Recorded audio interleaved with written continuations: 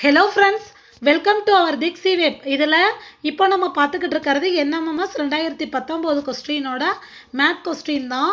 ஏற்கனவே எண்பது கொஸ்டின் வரைக்கும் நம்ம பார்த்தாச்சு. அதுக்கான லிங்க் கீழே டிஸ்கிரிப்ஷனில் இருக்குது இன்றைக்கி எண்பத்தி ஒன்றில் இருந்து தொண்ணூறு வரைக்கும் இருக்க கொஸ்டினோட ஆன்சரை பார்ப்போம். இப்போ இன்னைக்கு ஃபஸ்ட்டு பார்க்க போகிறது வழிமுறைகள் வினா எண் எண்பத்தி ஒன்று எண்பத்தி ரெண்டு. இது எப்படி இருக்குங்கிறத பார்ப்போம். படங்கள். ஏ மற்றும் பி ஒரு குறிப்பிட்ட தொடர்பினை கொண்டுள்ளது. அதே தொடர்பு சிக்கும் டிக்கும் உள்ளது எனில் டிக்கு சரியான படத்தை தேர்ந்தெடுக்க. இதே மாதிரி தான் ரெண்டு கொஸ்டின்லையும் இருக்கும். அது எப்படிங்கிறத பார்ப்போம். இப்போ வந்து ஏக்கும் பிக்கும் இருக்க தொடர்பு தான். சிக்கும் டிக்கும் இருக்கும்னு சொல்லியிருக்காங்க.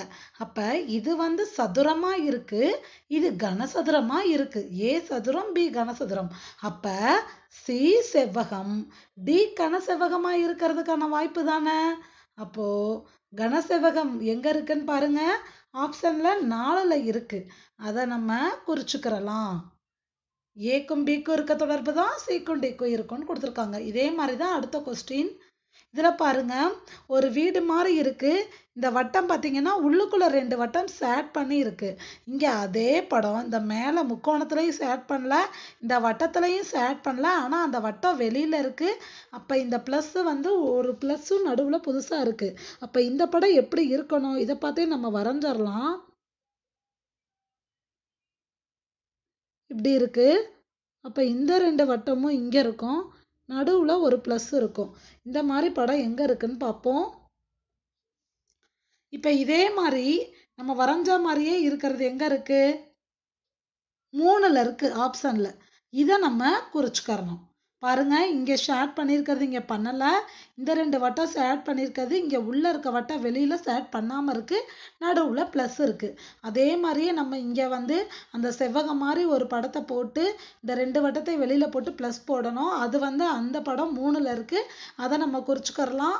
அப்போ எண்பத்தி ரெண்டுக்கு மூணை வந்து நம்ம ஷேட் பண்ணணும்.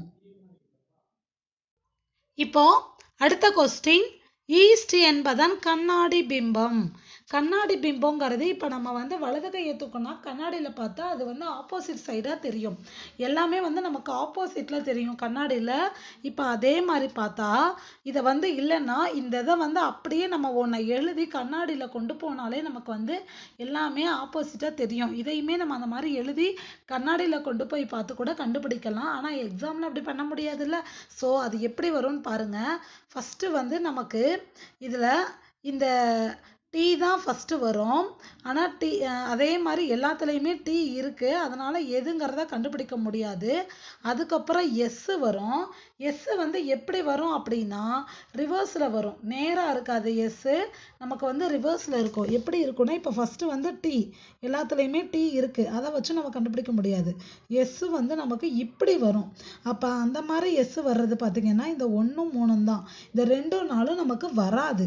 அடுத்து ஏ ஏ வந்து இந்த இந்த சேடை பாருங்க இந்த இதில் வர்றது வந்து நமக்கு வந்து டார்க்காக இருக்கா? இந்த இடத்துல வர்றது.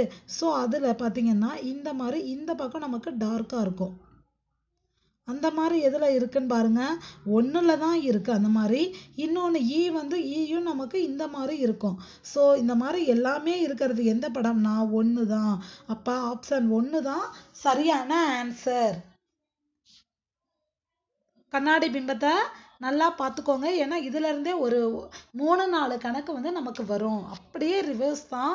இதை வச்சு நம்ம எழுத்த ரிவர்ஸில் திருப்பி தலைகீழாக எழுதுற மாதிரி எழுதினாலே நமக்கு தெரிஞ்சிடும் அடுத்த கொஸ்டின் அதுவும் கண்ணாடி பிம்பம் தான்.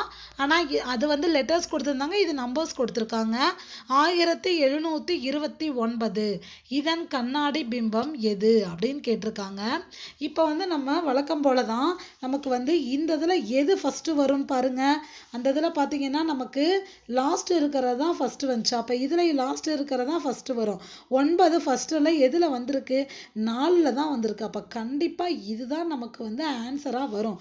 இருந்தாலும் நம்ம வந்து எல்லாத்தையுமே செக் பண்ணிக்கலாம். ஒம்பது ரிவர்ஸில் இருக்கும். ரெண்டு ரிவர்ஸில் ஏழும் ரிவர்ஸில் ஒன்றும் ரிவர்ஸில் எல்லாமே கரெக்டாக இருக்குது ஆப்ஷன் நாலு தான் இதுக்கு சரியான ஆன்சர் இதை நம்ம கரெக்டாக சேட் பண்ணிடணும். இப்போ அடுத்த கொஸ்டின் கொடுக்கப்பட்ட படத்தினை முழுமையாக்கும் பகுதி. இப்போ இந்த படத்தை வந்து முழுமையாக்குற மாதிரி ஒரு படத்தை வந்து நம்ம இந்த ஆப்ஷன்லேருந்து செலக்ட் பண்ணணும். அப்போ இந்த படம் எப்படி இருக்குங்கிறத முத தெரிஞ்சுக்குவோம். இந்த மாதிரி ஒரு கொடுத்த படம் மாதிரியே நம்ம வரைஞ்சுக்குவோம்.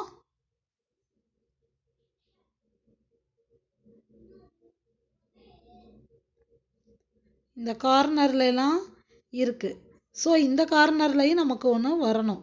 அதுக்கப்புறம் இந்த அம்புக்குறி வந்து உள்ளுக்குள்ளே எப்படி இருக்குன்னு பாருங்கள் இந்த டைரக்ஷன் அப்போது இங்கே இருக்கிறதும் இதுக்கு மட்டும் வேறு கலர் நம்ம எடுத்துக்குவோம். இதுக்கும் எந்த டைரக்ஷனில் இருக்கும் அப்படின்னா இந்த டைரக்ஷனில் இருக்கும். அப்புறம் வெளியில் வெளியில் வந்து எப்படி இருக்குது அதுக்கு ஆப்போசிட் டைரக்ஷன்ல இருக்கு.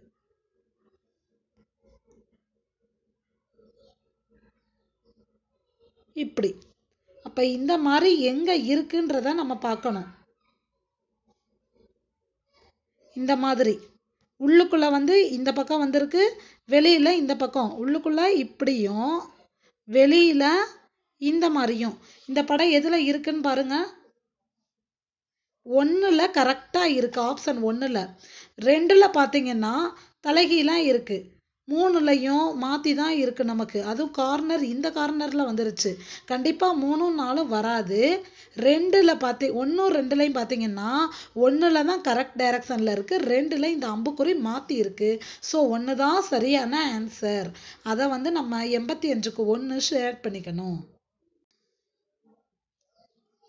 இப்போ அடுத்த கொஸ்டின் கம்யூனிகேஷன் என்ற வார்த்தையில் உள்ள எழுத்துக்களை கொண்டு பின்வரும் எந்த வார்த்தையை உருவாக்க இயலாது? ரொம்ப ஈஸியான ஒரு கொஸ்டின் கம்யூனிகேஷன். இந்த இதில் பாருங்க எந்தெந்த வார்த்தை இருக்கு எந்தெந்த லெட்டர் இருக்குங்கிறத வச்சே கண்டுபிடிக்கலாம். இப்போ இதில் வந்து கம்மிங்னு இருக்கு. இதில் வந்து சி இருக்கு. இங்கே சி இருக்கு. ஓ இருக்கு. எம் இருக்கு. ஐ இருக்குது என் இருக்கு. ஆனா ஜிங்கிற லெட்டர் இல்ல. அப்ப இந்த வார்த்தையை கண்டிப்பா உருவாக்க இயலாது. இதை நம்ம குறிச்சுக்கலாம் அடுத்து இதையும் பார்ப்போம். கோகனட் சி இருக்கு ஓ இருக்கு சி இருக்கு ஓ இருக்கு என் இருக்கு யூ இருக்கு டி இருக்கு. அப்ப கோகனட் முடியும். காஷன் சி இருக்கு ஏ இருக்கு யூ இருக்கு டி ஐஓஎன் காஷன் இருக்கு. அதே மாதிரி நேசன். என் ஏ ஷன் நேஷனும் இருக்கு. இந்த கம்மிங்கிற வார்த்தையை தான் உருவாக்க முடியாது. அப்ப எண்பத்தி ஆறுக்கு ஒன்று நம்ம ஷேர் பண்ணிக்கணும். இப்போ அடுத்த கொஸ்டின் இந்த மாதிரி ஒரு படம் கொடுத்துட்டு என்பதன் கண்ணாடி பிம்பம். ஏற்கனவே நம்ம கண்ணாடி பிம்பம் பத்தி பார்த்தோம். அதில் வந்து பொதுவாக கண்ணாடி பிம்பம் இதை வந்து இங்கிலீஷில் மிரர் வியூன்னு சொல்லுவாங்க. இது வந்து ஆப்போசிட் சைடு தான் இருக்கும். இப்போ இந்த அம்புக்குறி இருக்குன்னா அதுக்கு ஆப்போசிட்டாக கண்டிப்பாக இந்த மாதிரி இருக்கிறது தான் படத்தை தான் நம்ம சூஸ் பண்ணணும். இந்த மாதிரி இருக்க படத்தை. அதுக்கப்புறம் இந்த இது வந்து பார்த்திங்கன்னா இந்த பக்கம் இருக்குது ஸோ நம்ம ஆன்சர் வந்து கண்டிப்பாக இந்த பக்கம் இருக்கணும். அப்போ அந்த மாதிரி படம் எதுன்னு பாருங்கள் இப்போ வந்து இதில் ஆப்போசிட்டில் இருக்குது ஆனால் இந்த இது பார்த்திங்கன்னா டே- நேராகவே இருக்குது அப்போ இது வராது. அடுத்து இதே மாதிரி படம் பார்த்திங்கன்னா ரெண்டு தான் சரியாக வரும். மூணும் நாளும் அதே பக்கமாக இருக்குது கண்டிப்பாக வராது. அதுவும் நாளும் அதே படத்தை கொடுத்துருக்காங்க. அது வரவே வராது. இந்த ரெண்டு தான் சரியான விடை.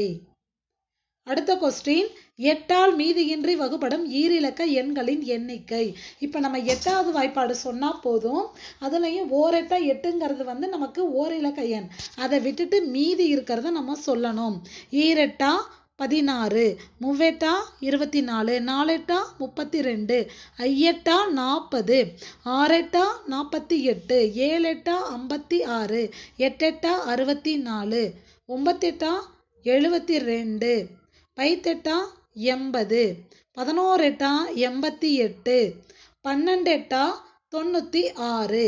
அப்போ மொத்தம் வந்து பன்னெண்டு எட்டா தொண்ணூத்தாறு வரைக்கும் இருக்கு. அப்ப பன்னெண்டுன்னு போட்டுடலாமான்னா வராது. ஏன்னா ஃபர்ஸ்ட் ஓரெட்டா எட்டுங்கிறத நம்ம விட்டுட்டோம். அப்போ மீதி எத்தனை இருக்கு? பதினோரு எட்டு பதினோரு நம்பர் வந்து எட்டால மீதியின்றி வகுப்படுற ஈரிலக்க எண். இதை நம்ம இப்படி போட்டு பார்க்காம டக்குன்னு ஓரெட்டா எட்டு அந்த எட்டை விட்டுட்டு பன்னெண்டு எட்டா தொண்ணூத்தாறு. அப்போ அதுல எட்டு மட்டும் தான் கேன்சல் ஆயிரும். அப்போ மீதி இருக்க நம்பர் வந்து பதினொன்னு. ஒன்று ரெண்டு மூணு நாலு அஞ்சு ஆறு ஏழு எட்டு ஒன்பது பத்து பதினொன்னு. அப்போ பதினோரு நம்பர் இருக்குன்னு நம்ம குறிச்சிடலாம். வாய்ப்பாடை வச்சு டக்குன்னு நம்ம போட்டுறலாம். பன்னெண்டு எட்டா தொண்ணூத்தாறு ஒரு எட்டா எட்டை மட்டும் விட்டுட்டோம்னா மீதி இரட்டா பதினாறுல இருந்து பன்னெண்டு வரைக்கும் இருக்கு. அப்போ ஒன்றை மட்டும் கழிச்சிட்டோம்னா பதினோரு நம்பர் இருக்கும்னு பதினொன்றை சூஸ் பண்ணிடலாம். எண்பத்தி எட்டுக்கு மூணை ஷேர் பண்ணணும். அடுத்த கொஸ்டின் பாருங்க. ஒரே வரிசையில் உள்ள எட்டு வீடுகளில் எத்தனை பொதுச்சுவர்கள் இருக்கும்? இப்போ ஒரு வரிசையில எட்டு வீடு இருக்கு.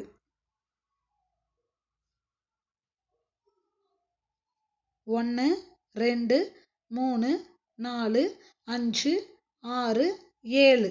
இப்போ எட்டு வீடு இருக்குது ஒரே வரிசையில் எட்டு வீடு இருக்குது இப்போ எத்தனை பொதுச்சுவர் இருக்கும்?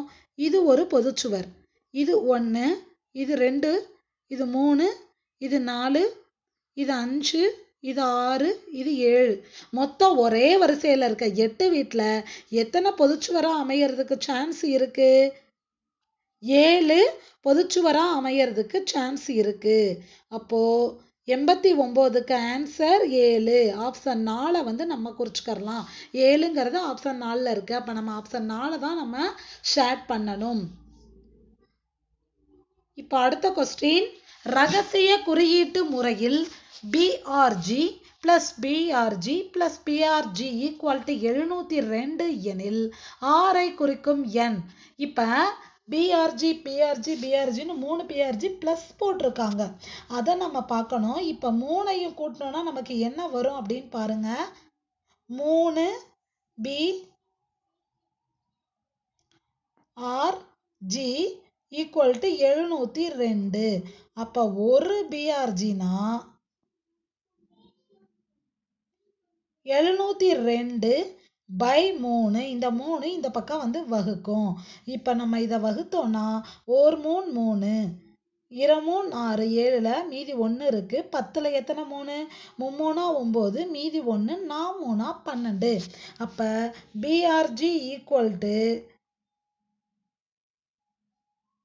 இரநூத்தி முப்பத்தி நாலு. பிஆர்ஜிக்கு இரநூத்தி முப்பத்தி நாலு. அப்போ பிக்கு ரெண்டு ஆறுக்கு மூணு ஜிக்கு நாலு. இவங்க கேட்டிருக்கிறது ஆறை குறிக்கும் எண். அப்போ ஆறை குறிக்கும் எண் மூணு. மூணுங்கிறது எங்கே வருதுன்னு பாருங்கள் மூணுங்கிறது ஆப்ஷன் ஒன்றுலையே நமக்கு வந்துடுது இப்போ ஆப்ஷன் ஒன்றை வந்து நம்ம குறிச்சிக்கிறலாம்.